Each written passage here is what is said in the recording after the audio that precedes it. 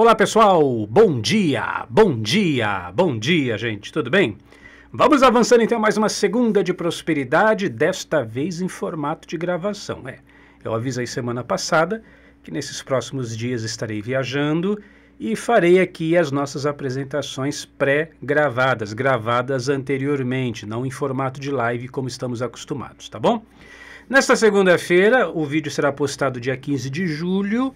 Eu quero falar sobre a sua vida, em especial o nosso tema, por uma vida que vale a pena. Por uma vida que vale a pena. Cris, como é que eu faço para minha vida valer a pena? Muito simples, meu amigo. Para sua vida valer a pena, você precisa fazer o seu tempo valer a pena, porque tempo é vida e vida é o tempo.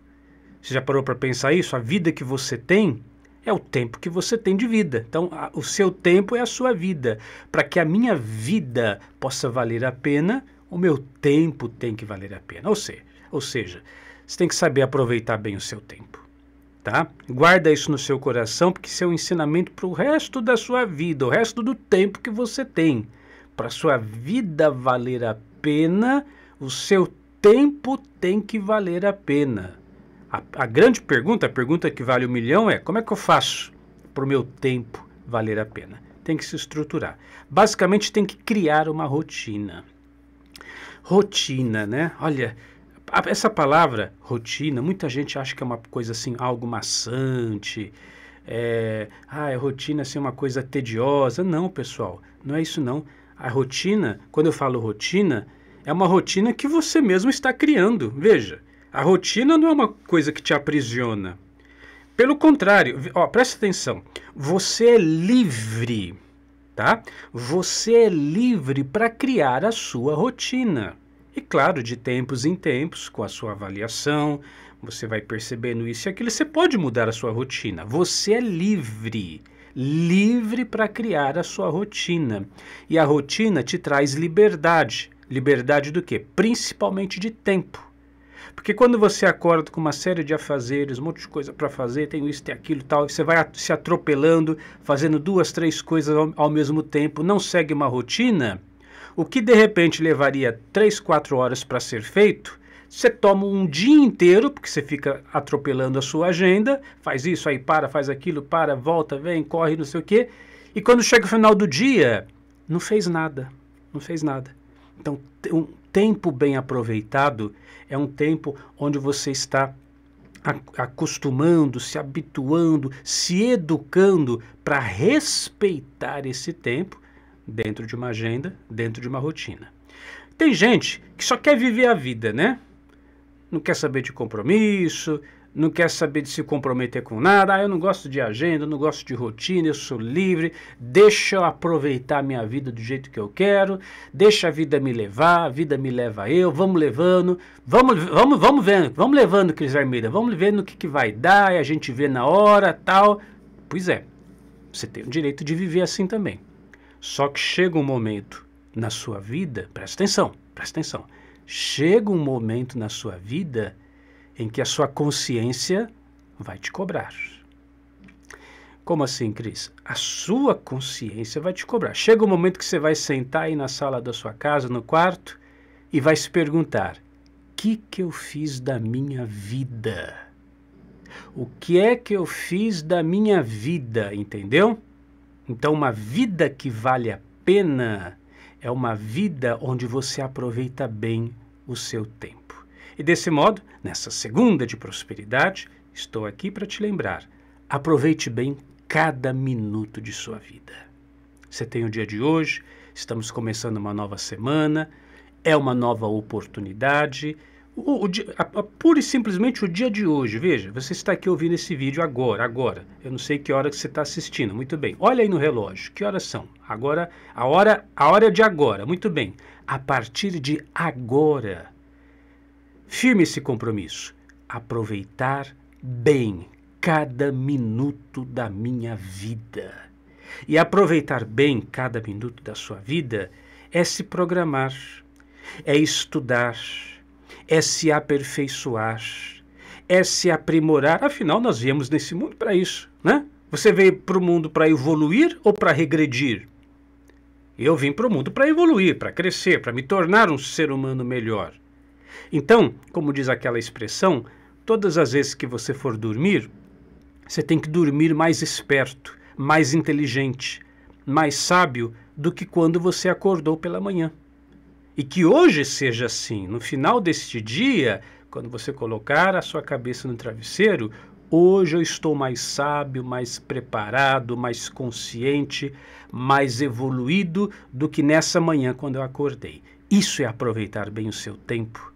Isso é aproveitar bem a sua vida. Aliás, eu sempre peço para o pessoal da Unidarma, os alunos da Unidarma, realizarem todas as noites antes de dormir uma breve revisão de vida, uma revisão de vida noturna, quando você senta ali na cama, você pode até ter uma colinha que você vai preparar com perguntinhas simples, básicas, que se responde ali em dois, três minutinhos. Como é que foi meu dia? O que, que podia ter feito de melhor? Onde é que eu pisei na bola? O que, que eu fiz de errado? Amanhã, quando eu acordar, o que, que eu posso fazer de diferente para melhorar um, um pouco mais do que eu fui hoje, entendeu? Aí você vai medindo, você vai se percebendo, você vai se avaliando. Claro, você vai aproveitando bem a sua vida porque você tem essa, essa postura reflexiva, essa postura de refletir sobre o que é que eu estou fazendo com a minha evolução pessoal e como eu posso, a partir de já, tirar melhor proveito disso tudo, não é? Aliás, nós temos lá na Unidarma também, a gente sempre fala isso da revisão de vida, que você vai fazer aos sábados, como é que você está vivendo a sua vida. Você coloca em xeque, você coloca ali, né, como diz o outro, na, na tábua de, de projetos, a sua própria existência, que direção a sua vida, seus objetivos, as suas metas estão tomando.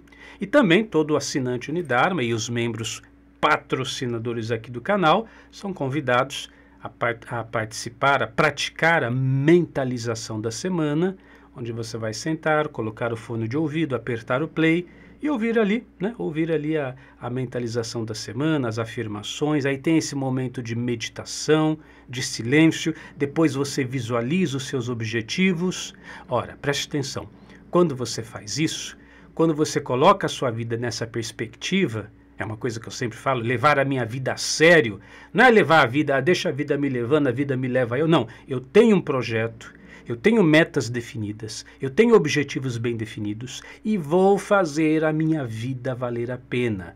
Vou organizar a minha agenda, vou criar uma rotina produtiva onde cada minuto da minha vida seja aproveitado com sabedoria, inclusive os momentos de ócio, os momentos de descanso, os momentos de diversão, de lazer, também. Isso, isso aí vai estar tá programado. Não é que você, ah, agora eu vou ter uma rotina, vou ter tudo agendado, eu não vou aproveitar mais a vida. Muito pelo contrário. É aí que você vai aproveitar bem, porque imaginemos, agora tal. Eu tenho isso, eu tenho meus momentos de ócio ao longo do dia. Eu já contei para o pessoal da Unidarma, acho que aqui nos vídeos também já falei. Tem um certo período do dia que eu sento ali fora na área para fazer nada para ficar olhando as nuvens, os passarinhos voando. Pra, é, é o meu momento de, de, de, de alívio de, de tensão, de estresse, de ansiedade. É só ficar ali. Mas o que, que você fica fazendo? Nada. Mas é o meu momento. Só que esse momento ele está dentro de uma rotina, ele está dentro de uma programação para que eu aproveite bem cada momento do meu dia. Claro. Veja, pessoal, você não tem que levar isso aí a ferro e fogo, no sentido assim, é você vai ser aquele robô pré-programado, né, que não vai, não vai poder é, pular ali um minuto. Não, não é isso. Não é isso que eu estou falando. A rotina, ela tem que te libertar. A rotina que você cria no seu dia é para ajudar você a viver bem. Então você cria ali uma estrutura, cria uma agenda.